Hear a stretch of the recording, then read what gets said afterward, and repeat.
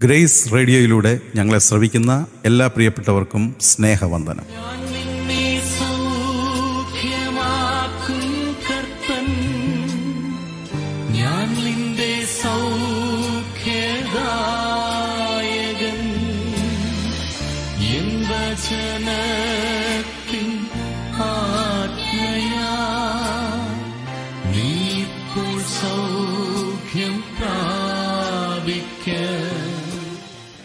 ദൈവനാമത്തിന് മാത്രം ഉണ്ടാകട്ടെ. കർത്താവ് ഇന്ന് എന്നോട് ഹന്നായുടെ സാക്ഷ്യം പറയാനായിട്ട് കർത്താവ് പറഞ്ഞേ അപ്പം ഹന്ന ജനിക്കുന്നതിന് മുമ്പ് തന്നെ കർത്താവ് എന്നെ കാണിച്ചു ഒരു പെൺകുഞ്ഞിനെ കാണിച്ചു അതുപോലെ കൈക്കുഞ്ഞുമായിട്ട് ഹോസ്പിറ്റലിലോട്ട് ഓടുന്നത് കാണിച്ചു കൊടൽ കാണിച്ചു. അന്നേരം ഞാൻ പ്രാർത്ഥിച്ചു കർത്ത- കർത്താവിനോട് പ്രാർത്ഥിച്ചു. അന്നേരം അതുപോലെ തന്നെ കാണിച്ചു. മുഴങ്കാലെ പ്രാർത്ഥിക്കാനിരിക്കുന്ന ഒരു പെങ്കൊച്ച് ഒരു വലിയ പെങ്കൊച്ചിനെ മുഴങ്കാലെ പ്രാർത്ഥി പുറകിൽ നിന്നാണ് കാണിച്ചത് മുടി ഇങ്ങനെ താഴെ വരെയായിട്ട് ഇങ്ങനെ കാണിച്ചു. അത് കഴിഞ്ഞ് അവൾ ഉണ്ടായി അവൾ ഉണ്ടായി കഴിഞ്ഞ് ഒരു വയസ്സ് വരെ ഒരു കുഴപ്പവും ഇല്ലായിരുന്നു അവൾക്ക്. നല്ല മിടുക്കിയായിരുന്ന ഒരു കുഞ്ഞായിരുന്നു. അത് കഴിഞ്ഞിട്ട് ഒരു വയസ്സ് കഴിഞ്ഞ് അവൾക്ക് ശരീരത്തിന് ചൊറിച്ചിൽ തുടങ്ങി. അങ്ങനെ ശരീരം മുഴുവൻ ചൊറിയാൻ തുടങ്ങി. പിന്നെ വയറിളക്കം പിന്നെ കണ്ണു മഞ്ഞ നിറം വന്നു. അങ്ങനെ ഇത്രയും പ്രയാസങ്ങളൊക്കെ വന്നപ്പോഴത്തേനും ഇവിടെ അടുത്ത് ഞങ്ങൾ കൃപ ക്ലിനിക് എന്ന് പറഞ്ഞ ഒരു ക്ലിനിക് ഉണ്ട്. ഡോക്ടർ സക്രിയ ഡോക്ടറിന്റെ അടുത്ത് ചെന്നു. അപ്പോൾ നോക്കിയപ്പം ബിലിറൂബിന്റെ കൗണ്ട് പത്തൊമ്പതായിരുന്നു. അപ്പം പത്തൊമ്പതായിരുന്നുകൊണ്ട് അവർ പെട്ടെന്ന് പി വി എസിലോട്ട് പൊക്കോളാൻ പറഞ്ഞു. അങ്ങനെ പി വി എസ് ഹോസ്പിറ്റലിൽ ചെന്ന് ഞങ്ങൾ എല്ലാ ഹെപ്പറ്റൈറ്റിസ് പലതരത്തിലുള്ള ഹെപ്പറ്റൈറ്റിസ് ഉണ്ടല്ലോ. ആ മഞ്ഞപ്പിത്തത്തിന്റെ പല അതെല്ലാം ടെസ്റ്റ് ചെയ്തു എല്ലാം നെഗറ്റീവാ അങ്ങനെ സ്കാൻ ചെയ്തു. സ്കാൻ ചെയ്തപ്പോഴും ഒന്നും കണ്ടുപിടിക്കാൻ പറ്റുന്നില്ല. പിന്നെ അവസാനം ലിവറിന്റെ ബയോപ്സി ചെയ്തു. അപ്പം ലിവർ ബയോപ്സിയിലും ഒന്നും കുഴപ്പമൊന്നും കാണുന്നില്ല. രോഗം കണ്ടുപിടിക്കാൻ കഴിയുന്നില്ല. അങ്ങനെ അവർ ഞങ്ങളെ തിരിച്ചു വിടുക. അപ്പം ഇവൾ വീട്ടിൽ വന്നു. അത് കഴിഞ്ഞിട്ട് അവളുടെ അവസ്ഥ വല്ലാത്ത അവസ്ഥയാണ് പിന്നീട് ഞങ്ങൾ ലേക്ക് ഷോറിൽ പോയി. ഫിലിപ്പ ഗസ്റ്റൻ ഡോക്ടർ ഫിലിപ്പ ഗസ്റ്റിനെ കാണിച്ചു അപ്പം ഈ റിസൾട്ട് എല്ലാം നോക്കി അവർക്കും ഒന്നും മനസ്സിലാകുന്നില്ല രോഗം എന്താണെന്ന് എവിടെയാ പ്രശ്നം എന്ന് മനസ്സിലാകുന്നില്ല ഇവളുടെ ബൈൽ ആ, ഇത് ബ്ലഡിലേക്ക് ഒഴുകുക. അത് ആ, ബ്ലഡിലേക്ക് ദഹനത്തിന് സഹായിക്കേണ്ട ഈ ബൈൽ അത് ബ്ലഡിലേക്ക് ഒഴുകുക. അപ്പൊ അതുകൊണ്ട് കൗണ്ട് അങ്ങ് കൂടി. ട്വന്റി സെവൻ ട്വന്റി എയ്റ്റ് അത്രയും ഹൈ ആയി. അങ്ങനെ തിരിച്ചു വീട്ടിൽ വന്നു. അവൾക്ക് ഉറക്കമില്ല. കണ്ണും മുഖവും എല്ലാം മഞ്ഞൾ പറ്റിയ പോലെ മുഖമൊക്കെ ഇരിക്കുന്നു. വയറെല്ലാം വീർത്ത് ഇങ്ങനെ വയറ്റിൽ ഇങ്ങനെ വെള്ളം പോലെ പൊക്കോണ്ടിരിക്കും. അപ്പോൾ ഉറങ്ങാൻ പറ്റത്തില്ല. അങ്ങനെ ഞാനും ഷിജാനും രണ്ട് ബെഡ്റൂമിലായി. ഞാൻ ഹന്നയും കൊണ്ട് ഇങ്ങനെ ഇരിക്കുമായിരുന്നു അപ്പോൾ അങ്ങനെ രാത്രി ഉറങ്ങാതെ രാത്രികൾ ഇങ്ങനെ ഉറങ്ങാതെ ഇരിക്കുന്ന ഒരു ദിവസം. അപ്പം ഞാൻ ഈ കാണിച്ച സ്വപ്നോ അല്ല ദർശനമൊക്കെ ഞാൻ മറന്നുപോയി. ഒന്നും ഓർക്കുന്നേ ഇല്ല. കാരണം ഇത്രയും പ്രയാസത്തിന് മധ്യത്തിൽ വരുമ്പോൾ നമ്മൾ ദൈവം പ്രോമിസ് ചെയ്ത് പ്രോമിസ് ഒക്കെ അങ്ങ് മറന്നുപോകും അങ്ങനെ ആയിരുന്ന സമയത്ത് ഞാൻ ഒരു ദിവസം രാത്രി ഇരിക്കുന്ന സമയത്ത് ഞാൻ വ്യക്തമായിട്ട് ഒരു മനുഷ്യൻ വന്ന് എന്നോട് പറയുന്ന പോലെ ഞാൻ കേൾക്കുക എന്റെ നീതിമാൻ വിശ്വാസത്താൽ ജീവിക്കും എന്ന്. അപ്പം പ്രയാറിന് പോകുന്നുണ്ട്. ഞങ്ങൾ പ്രയാറിന് പോകുന്ന സമയത്ത് ആണെങ്കിൽ പോലും എനിക്ക് വചനമൊന്നും അത്രയൊന്നും അറിയത്തൊന്നുമില്ല. അപ്പം ഇത് എവിടെയാണെന്നൊന്നും അറിയത്തില്ല. പക്ഷെ എനിക്ക് മനസ്സിലായി ഇത് ബൈബിളിൽ എവിടെയോ ഉള്ള ഒരു വാക്യവ. ഞാൻ ഈ കേട്ടതെന്ന് മനസ്സിലായി. അതുകൊണ്ട് ഞാൻ ഇവിടെ അടുത്ത് ഞങ്ങൾക്ക് അച്ചുകുഞ്ഞു പാസ്റ്റർ ഉണ്ടായിരുന്നു. അപ്പൊ ആ പാസ്റ്ററിനെ വിളിച്ചിട്ട് ചോദിച്ചു. ചോദിച്ചപ്പം പാസ്റ്റർ പറഞ്ഞു ഹബക്കൂക്കിന്റെ മൂന്നിന്റെ രണ്ടാമത്തെ വാക്യവാ. അതിനകത്ത് എഴുതിയിരിക്കുക ദർശനം എഴുതുക ഓടിച്ചു വായിപ്പാൻ തക്കവണ്ണം അത് പലകയിൽ തെളിവായി വരയ്ക്കുക. ദർശനത്തിന് ഒരു അവധി വെച്ചിരിക്കുന്നു. അത് സമാപ്തിയിലേക്ക് ബന്ധപ്പെടുന്നു. സമയം തെറ്റുകയുമില്ല. അത് വൈകിയാലും അതിനായി കാത്തിരിക്ക. അത് വരും നിശ്ചയം. താമസിക്കുകയുമില്ല അവന്റെ മനസ്സ് അവനിൽ അഹങ്കരിച്ചിരുന്നു. അത് നേരുള്ളതല്ല. എന്നിട്ട് എഴുതിയ നീതിമാനോ വിശ്വാസത്താൽ ജീവിക്കും. അപ്പം നീതിമാനോ വിശ്വാസത്താൽ ജീവിക്കും എന്നുള്ളത് അവിടെ വ്യക്തമായിട്ട് അപ്പം അതിനകത്ത് എഴുതിയിരിക്കുന്ന ദർശനത്തിന് ഒരു അവധിയുണ്ട്. അപ്പം കർത്താവ് എന്നെ കാണിച്ചു ദർശനം. പക്ഷേ അത് വയറ്റിൽ കുഞ്ഞായിരുന്ന സമയത്ത് എന്നെ കാണിച്ച്. പക്ഷെ അതിനൊരു അവധിയുണ്ട്. ആ അവധി കഴിയുമ്പം അത് നടക്കും. പക്ഷെ ഞാൻ ജീവിക്കേണ്ടത് വിശ്വാസത്താലാ ജീവിക്കേണ്ടത്. അല്ലാതെ ഞാൻ കാണുന്നതിനെ കണ്ട് നിരാശപ്പെടാനല്ല. ഞാൻ നോക്കുമ്പം എന്റെ കൊച്ച് കിടന്ന് ഏത് നേരവും തല മുതൽ പാദം വരെ പായൊക്കെ കിട്ടി അവൾ മുഖമൊക്കെ മുറി മുറിക്കും. ശരീരം മുഴുവൻ വലിച്ചു പറയും പിച്ചി അവൾ എടുക്കും. ചോര വരും. മേത്തൂന്നെല്ലാം ചോര വരും. മുഖമൊക്കെ പായ ഒക്കെ മുറിക്കുകയും ചെവിക്കകത്ത് ഇയർബഡ്സ് ഒക്കെ ഇട്ട് കുത്തുകയും. അങ്ങനെ വല്ലാത്ത ഒരു അവസ്ഥയാണ് ഉറങ്ങാൻ മേലാതെ.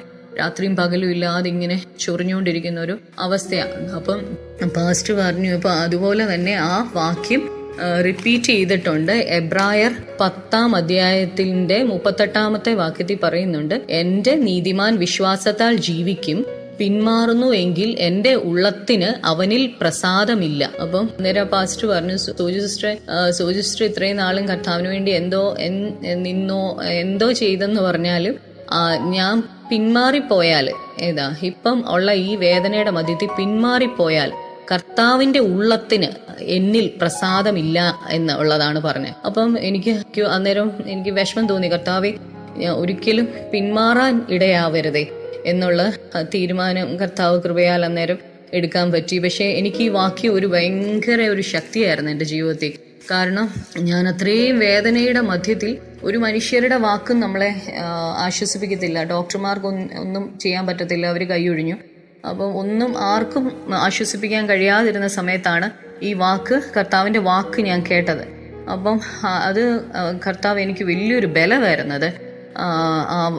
വാക്ക് എനിക്ക് കർത്താവിന്റെ വാക്ക് എനിക്ക് വലിയ ബലമായിരുന്നു. അങ്ങനെ അത് കഴിഞ്ഞിട്ട് ശുചാൻ രക്ഷയിലേക്ക് വന്നു കഴിഞ്ഞാണ് കുഞ്ഞിന് അസുഖം വരുന്നത്. അപ്പം അത് കഴിഞ്ഞ് ഞങ്ങളിങ്ങനെ കൊച്ചു കൂട്ടായ്മയിലൊക്കെ പോയി കർത്താവിന്റെ സുവിശേഷം ഒക്കെ പറയുന്നുണ്ടായിരുന്നു. ഞാൻ എഴുന്നേറ്റ് പറയും കർത്താവ് സൗഖ്യമുള്ള ആക്കുന്നവനാ യേശു ക്രിസ്തു സൗഖ്യമാക്കുന്ന ദൈവമാന്നൊക്കെ പറയുമ്പം ഈ ഹന്ന ഇരുന്ന് ഭയങ്കര ചൊറിച്ചില്ല ഉടുപ്പെല്ലാം പറിച്ചിട്ടിട്ടാ ചൊറിയുന്നേ.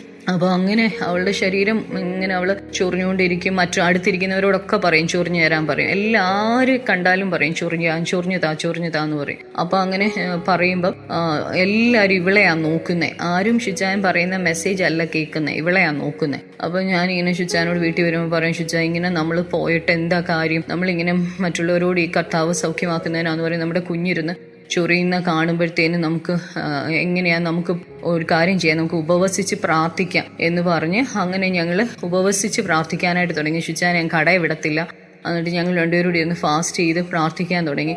അങ്ങനെ ഫാസ്റ്റ് ചെയ്ത് പ്രാർത്ഥിക്കുന്നതിന്റെ ഇടയിൽ കർത്താവ് എന്നോട് വ്യക്തമായിട്ട് ഞാൻ കേട്ടു.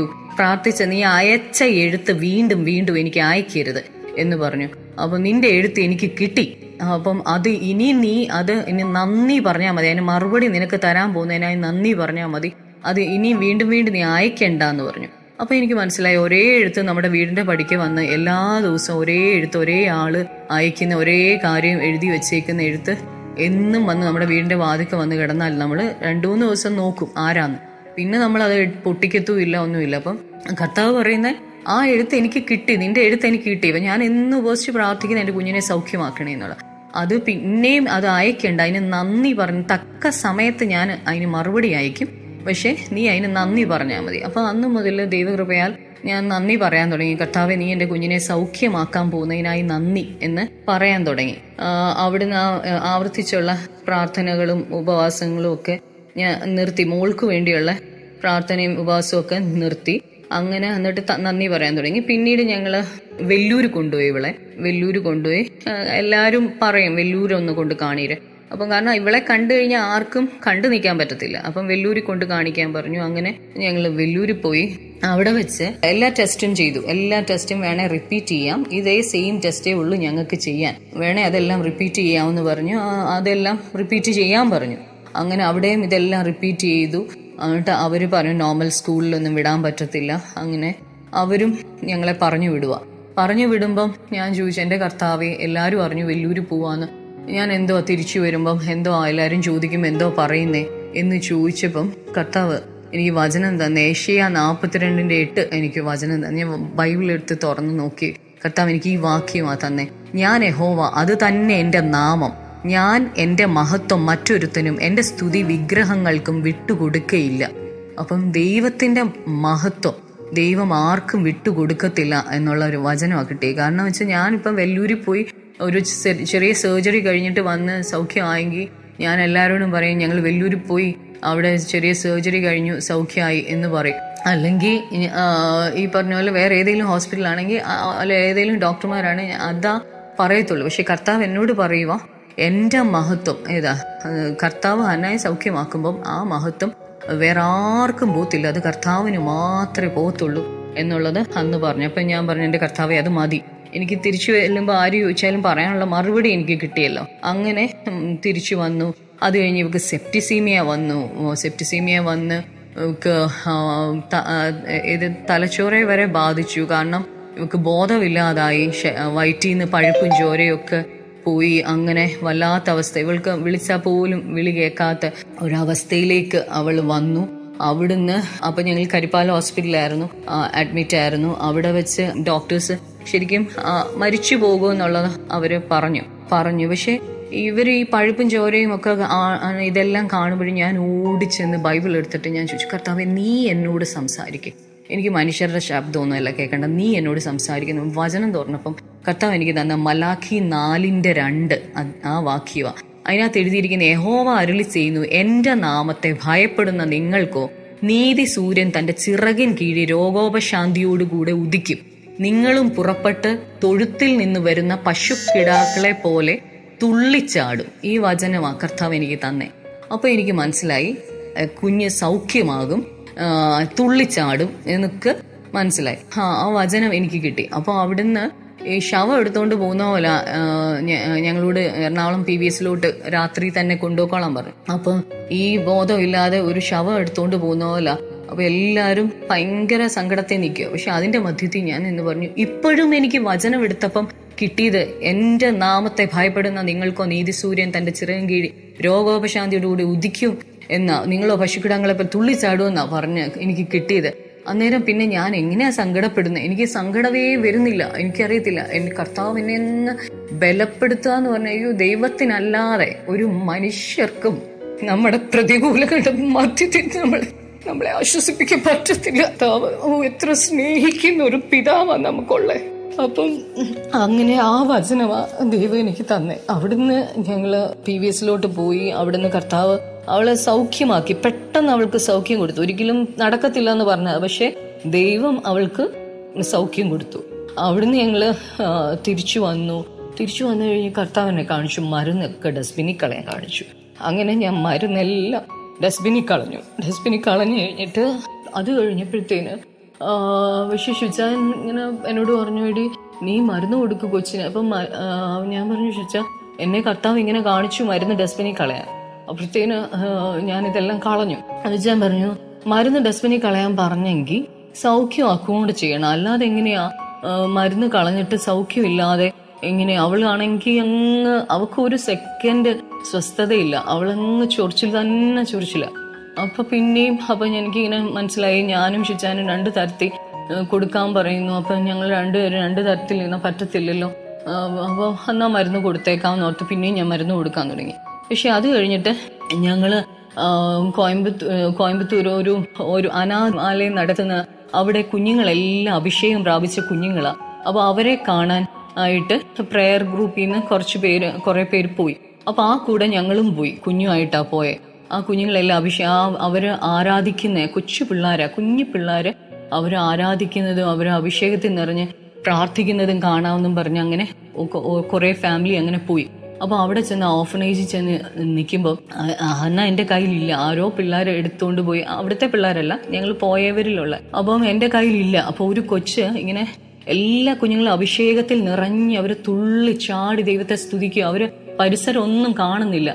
അവരിങ്ങനെ ഭയങ്കരമായിട്ട് ആ, എന്താ പരിസരം മറന്നുള്ള ആരാധിക്കുക അങ്ങനെ ഇരിക്കുമ്പോൾ ഒരു കൊച്ചു വന്ന് എന്റെ തലയെ വന്ന് കൈ വെച്ചിട്ട് പറഞ്ഞു ഉന്ത കുളന്തയ്ക്ക് സൗഖ്യം വരും നീ മരുന്ന് കൊടുക്കരുതെന്ന് പറഞ്ഞു. തമിഴിലാ പറഞ്ഞേ. അപ്പൊ ഷുജാൻ അടുത്തുണ്ടായിരുന്നു. അപ്പൊ ഷുജാൻ പറഞ്ഞു ഇനി നീ മരുന്ന് കൊടുക്കണ്ട എന്ന് പറഞ്ഞു. കാരണം ആ കൊച്ചിന് ഒന്നും അറിയത്തില്ല നമ്മളെ കുറിച്ച് ഒരു കാര്യവും അറിയത്തില്ല. പക്ഷെ ദൈവത്തിന്റെ ആത്മാവ് തന്നെ ആ കൊച്ചിലൂടെ വീണ്ടും സംസാരിച്ചു. അങ്ങനെ ഞങ്ങൾ മരുന്നെല്ലാം നിർത്തി. പക്ഷെ അവളുടെ അവസ്ഥ എന്ന് പറഞ്ഞാൽ അവളുടെ വയറ് വീർത്ത ലിവർ എൻലാജ്ഡാ എന്നെ പാരാസെറ്റമോൾ കൊടുക്കാൻ പറ്റത്തില്ല പനി വരാതെ സൂക്ഷിക്കണം എന്ന് ഡോക്ടർമാർ പറഞ്ഞു. പക്ഷെ നമുക്ക് ആർക്കും ആരെയും സൂക്ഷിക്കാൻ പറ്റത്തില്ല. ദൈവത്തിനല്ലാതെ ഒരു മനുഷ്യർക്കും എന്താ ഒരു മനുഷ്യരെയും സൂക്ഷിക്കാൻ പറ്റത്തില്ല. ദൈവം സൂക്ഷിച്ചാൽ മാത്രമേ നടക്കുകയുള്ളൂ പക്ഷെ ദൈവത്തിന്റെ അങ്ങനെ പനി വരാതെ സൂക്ഷിക്കണമെന്ന് പറഞ്ഞു. പിന്നെ ഈ കൈയും കാലും ഒക്കെ കമ്പ് പോലെ ആയിരിക്കുന്ന കൊള്ളിക്കമ്പ് പോലെ കൈയൊക്കെ ഇരിക്കുന്നത് ശരീരം എല്ലാം വല്ലാതെ ക്ഷീണിച്ച് വയറെല്ലാം വീർത്ത് കയ്യിലും കാൽ ചൊറിയുന്നിടത്തെല്ലാം ഇങ്ങനെ കുരുക്കൾ പോലെ കുഞ്ഞു കുഞ്ഞു കുരുക്കളാണ് ശരീരം എല്ലാം ഭയങ്കര വൃത്തികേടാണ് ശരീരം കണ്ടാൽ. അടി അപ്പം അങ്ങനെ ഒക്കെ ആയിരിക്കുന്ന അവസ്ഥയിൽ ഞാനിങ്ങനെ ഒരു ദിവസം കിടക്കയിൽ ഇരിക്കുന്ന സമയത്ത് എന്റെ വന്ന് തട്ടിയിട്ട് എന്നോട് പറയുക നഷ്ടമായ ആരോഗ്യം ഞാൻ മടക്കിത്തരും. നഷ്ടമായ സൗന്ദര്യം ഞാൻ മടക്കിത്തരും. നഷ്ടമായ കൃപ ഞാൻ മടക്കിത്തരും. ഈ ശബ്ദം ഞാൻ വ്യക്തമായിട്ട് കേട്ടു.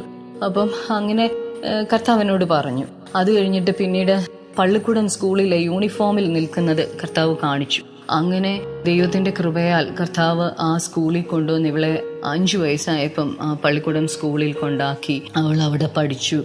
പിന്നെ എന്റെ ഒരു ഫ്രണ്ട് എന്നോട് ഈ പ്രയാസത്തിന്റെ മധ്യത്തിൽ കർത്താവ് ആ എന്റെ ഞാൻ ഒത്തിരി സ്നേഹിക്കുന്ന ഒരു സുഹൃത്തായിരുന്നു. ആ സുഹൃത്തിന്റെ അടുത്ത് കർത്താവ് പറഞ്ഞു ഇതുപോലെ പതിമൂന്ന് വർഷം കഴിയുമ്പോൾ കർത്താവ് ഇവളെ സൗഖ്യമാക്കുമെന്ന് പറയണമെന്ന് പറഞ്ഞു. എന്നിട്ട് ആ ഫ്രണ്ടിനും കർത്താവ് ഞാൻ കണ്ട ദർശനം പോലെ തന്നെ മുഴങ്കാലയിൽ ഇരിക്കുന്ന ഒരു പെൺകുഞ്ഞ് മുടി താഴെ വരെയുള്ള ഒരു പെങ്കുഞ്ഞിനെ കർത്താവ് അതിനെയും കാണിച്ചു. സെയിം ദർശനം. അപ്പം എന്നിട്ട് എന്നോട് വന്ന് പറഞ്ഞു സൂചു കർത്താവ് എന്നോട് പറഞ്ഞു പതിമൂന്ന് വർഷം എന്ന് പറഞ്ഞു. അങ്ങനെ അത് ദൈവം എനിക്ക് തന്ന ഒരു വലിയൊരു ബലമായിരുന്നു. കാരണം ഞാൻ കണ്ട ആ സെയിം ദർശനം തന്നെ കർത്താവ് എന്റെ ഫ്രണ്ടിനെയും കാണിച്ചു. ഇതിന്റെ എല്ലാം മധ്യത്തിലും പലരും എന്നോട് പറഞ്ഞിട്ടുണ്ട് ഷിബുവിന്റെ കുഴപ്പം കൊണ്ടാ അല്ലെ സൂജുവിന്റെ കുഴപ്പം കൊണ്ടാ ഞങ്ങളുടെ പാപം കൊണ്ടാ ഇങ്ങനെയൊക്കെ വന്നേ എന്നൊക്കെ പറഞ്ഞു. ഞാൻ ഇങ്ങനെ വിഷമിച്ച് കർത്താവിന്റെ അടുത്തിരുന്നു. ഒരു ദിവസം ഞാൻ ചോദിച്ചു കർത്താവേ ഇങ്ങനെയൊക്കെയാണ് പറയുന്നത് അപ്പം എന്നിങ്ങനെ പറഞ്ഞപ്പം കർത്താവിനോട് പറഞ്ഞു നീ യോഹനാൻ ഒമ്പത് എടുക്കാൻ പറഞ്ഞു. അപ്പം യോഹനാൻ ഒമ്പത് എടുത്ത് ഞാൻ പറഞ്ഞു കർത്താവേ യോഹനാൻ ഒമ്പത് എനിക്കറിയാമല്ലോ അതിനകത്ത് കുരുടനെ സൗഖ്യമാക്കുന്ന അതല്ലേ പറഞ്ഞിരിക്കുന്നത് ഉടനെ കർത്താവ് പറഞ്ഞു നീ അതെടുത്ത് വായിക്ക് എന്ന് പറഞ്ഞു. അപ്പോൾ ഉടനെ ഞാനത് അവൻ എടുത്ത് വായിച്ചു. അവൻ കടന്നു പോകുമ്പോൾ പിറവിയിലെ കുരുടനായൊരു മനുഷ്യനെ കണ്ടു. അവന്റെ ശിഷ്യന്മാർ അവനോട് റബി ഇവൻ കുരുടനായി പിറക്കത്തക്കവണ്ണം ആർ പാപം ചെയ്തു? ഇവനോ ഇവന്റെ അമ്മയപ്പന്മാരോ? എന്ന് ചോദിച്ചു. അതിന് യേശു അവനെങ്കിലും അവന്റെ അമ്മയപ്പന്മാരെങ്കിലും പാപം ചെയ്തിട്ടല്ല. ദൈവപ്രവൃത്തി അവങ്കിൽ വെളിവാകേണ്ടതിനത്രേ എന്ന് എഴുതിയിരിക്കുന്നു. അത് വായിച്ചപ്പം എനിക്ക് ഭയങ്കര സന്തോഷം തോന്നി. കർത്താവെ ഞങ്ങളുടെ കുറ്റമാണെന്ന് കർത്താവ് പറഞ്ഞില്ലല്ലോ. മനുഷ്യർ പറഞ്ഞോട്ടെ അത് കുഴപ്പമില്ല. പക്ഷെ ദൈവം പറഞ്ഞത് ഇത് ദൈവത്തിന്റെ നാമ മഹത്വത്തിനാന്നാ പറഞ്ഞത് അത് കേട്ടപ്പോൾ എനിക്ക് ഭയങ്കര സന്തോഷമായി കർത്താവ് നിന്റെ നാമ മഹത്വത്തിനാക്കി തീർക്കുമല്ലോ അങ്ങനെ അവസാനം ഇവൾ ഒന്നാം ക്ലാ ഒമ്പതാം ക്ലാസ് ആയപ്പോൾ അപ്പൊ അവൾക്കൊരു പനിയും ചുമയും എല്ലാം വന്ന് ഹോസ്പിറ്റലിലൊന്നും അങ്ങനെ പോകാറില്ല ഇങ്ങനെ ചുമ മാത്രം ഉള്ളൂ. അല്ല പനിയൊന്നും വരാതെ കർത്താവളെ സൂക്ഷിച്ച് ഇത്രയും വർഷങ്ങളും അവൾക്ക് പനി വന്നിട്ടില്ല. പനി വന്നപ്പോഴാണെങ്കിലും ഞാൻ വെള്ളം ചുമ പ്രാർത്ഥിച്ച് വെള്ളം എടുത്ത് പ്രാർത്ഥിച്ച് കർത്താവ് അങ്ങയുടെ രക്തം ഒഴിക്കണേ. എന്ന് പറഞ്ഞ് പ്രാർത്ഥിച്ച് അങ്ങ് കൊടുക്കും. അന്നേരം അവളുടെ പനി അങ്ങ് പോവും. അങ്ങനെയായിരുന്നു. പക്ഷേ ഭയങ്കരമായിട്ട് ഇങ്ങനെ ചെസ്റ്റ് ഇൻഫെക്ഷനും എല്ലാം ആയിട്ട് ഭയങ്കരമായിട്ട് അങ്ങ് കൂടി പനിയും ചുമയെല്ലാം ഒമ്പതാം ക്ലാസ്സിൽ പഠിക്കും. അപ്പം ഞങ്ങൾ ഡോക്ടർ മാത്യു ഇബ്രാഹിമിന്റെ അവിടെ അവിടെ പാറാട്ട് ഹോസ്പിറ്റലിൽ കൊണ്ടുപോയി. കൊണ്ടുപോയപ്പം ഡോക്ടർ എക്സ്റേ ഒക്കെ എടുത്തപ്പം പറഞ്ഞ് എക്സ്റേ കണ്ടിട്ട് ഡോക്ടർ പറഞ്ഞു ഈ കുഞ്ഞു പിള്ളേരുടെ എല്ലുകൾ പോലെയാണല്ലോ. ഒട്ടും കട്ടിയില്ല. റിബ്സിനൊന്നും വീണ അന്നേരം ഒടിഞ്ഞു പോകുന്ന പോലെ ഉള്ള ഒരു അവസ്ഥയാണല്ലോ. എന്നൊക്കെ ഡോക്ടർ അങ്ങ് സങ്കടമായിട്ട് അങ്ങനെ ഡോക്ടർ പറഞ്ഞു. അങ്ങനെ പറഞ്ഞു. അപ്പോഴത്തേന് ഞങ്ങൾ അത് കേട്ടു ഒക്കെ പോന്നു. പക്ഷേ അത് കഴിഞ്ഞ് ഈ ഒമ്പതാം ക്ലാസ്സിൽ പതിനാല് വയസ്സ് ഉള്ളപ്പോഴാണല്ലോ ഒമ്പതാം ക്ലാസ്സിൽ പഠിക്കുന്നത്. അപ്പം ആ പതിനാലാമത്തെ വയസ്സിൽ ദൈവം ചെയ്തെന്ന് വെച്ചാൽ ഈ അസ്ഥി പോലുള്ള ഈ ശരീരത്തെ ദൈവം ഒരു മൂന്ന് മാസം കൊണ്ട് ഇവക്കൊരു പത്ത് കിലോ അങ്ങ് കൂടി. ഇവളങ്ങ് വെയിറ്റേ ഇല്ല അവക്ക്. തീരെ ആളില്ലായിരുന്നു. പത്ത് കിലോ ഒരു മൂന്ന് മാസം കൊണ്ട് കൂടി അങ്ങനെ ഒമ്പതാം ക്ലാസ്സിൽ വെച്ച് കർത്താവ് പറഞ്ഞ വാക്ക് പോലെ കർത്താവ് അവളെ സൗഖ്യമാക്കി. പതിനാലാമത്തെ വയസ്സിൽ ഒരു വയസ്സിൽ രോഗം തുടങ്ങി പതിനാലാമത്തെ വയസ്സിൽ കർത്താവ് അവൾക്ക് സൗഖ്യം കൊടുത്തു. അപ്പം കർത്താവ് പറഞ്ഞ വാക്ക് ഒരിക്കലും മാറത്തില്ല. അതായത് ദൈവത്തിന്റെ വാക്കൊരിക്കലും മാറത്തില്ല. ഈ ആവർത്തന പുസ്തകത്തിനകത്തൊരു വാക്യമുണ്ട്. അതെന്റെ ഹൃദയത്തിൽ കർത്താവ് പെട്ടെന്ന് തന്നെ ഓർപ്പിച്ച ഒരു കാര്യം. എന്ന് വെച്ചാൽ നമ്മൾ ഇത് നിലവിളിക്കുമ്പോൾ നമ്മൾ ഇതിനകത്ത് എഴുതിയിരിക്കുന്ന ആവർത്തന പുസ്തകം നാലിന്റെ ഏഴാം വാക്യം നമ്മുടെ ദൈവമായ യഹോവയോട് നാം വിളിച്ചപേക്ഷിക്കുമ്പോഴൊക്കെയും അവൻ നമ്മുടെ അടുത്തിരിക്കുന്നത് പോലെ ദൈവം ഇത്ര അടുത്തിരിക്കുന്ന ശ്രേഷ്ഠ ജാതി ഏതുള്ളൂ? അപ്പം ഇതുപോലെ നമ്മളോട് അടുത്തു വരുന്ന ഒരു കർത്താവ്. ഇതുപോലെ ഒരു ജാതി ആരാ ഉള്ളേ? ഏതാ ഇതുപോലെ ശ്രേഷ്ഠമായ ഒരു ജാതി ആരാ ഉള്ളേ? അപ്പം അത് ഏതാ ഈ- എല്ലാ പ്രയാസത്തിന്റെയും മധ്യത്തിൽ നമുക്ക് കർത്താവ് നമുക്ക് കൂട്ടായിട്ടുണ്ടെങ്കിൽ പിന്നെ എന്തോ ചെങ്ക കടലിൽ പിന്നെ വെള്ളത്തിൽ കൂടെ പോയാലും നീ മുങ്ങിപ്പോത്തില്ല അഗ്നി നിന്നെ ദഹിപ്പിക്കത്തില്ല ഇതിനകത്തൂടൊക്കെ പോകേണ്ടി വരും. പക്ഷേ ഇതൊന്നും നമ്മളെ തകർത്ത് കളയാൻ കർത്താവ് സമ്മതിക്കത്തില്ല. ഈ ഈ നല്ല കർത്താവിനെ കിട്ടിയത് എന്റെ ജീവിതത്തിൽ ഏറ്റവും വലിയ അനുഗ്രഹമാണ് ഏറ്റവും വലിയ അനുഗ്രഹം ഈ കർത്താവിനെ കിട്ടിയത് മാത്രം. അവസാനം വരെയും ദൈവസന്നിധി നേരോടെ നിൽക്കാൻ കർത്താവ് കൃപ തരേണ്ടതിന് ഞാൻ പ്രാർത്ഥിക്കുന്നു. നിങ്ങൾ ഓർത്ത് തന്നെ ഓർത്ത് പ്രാർത്ഥിക്കണം.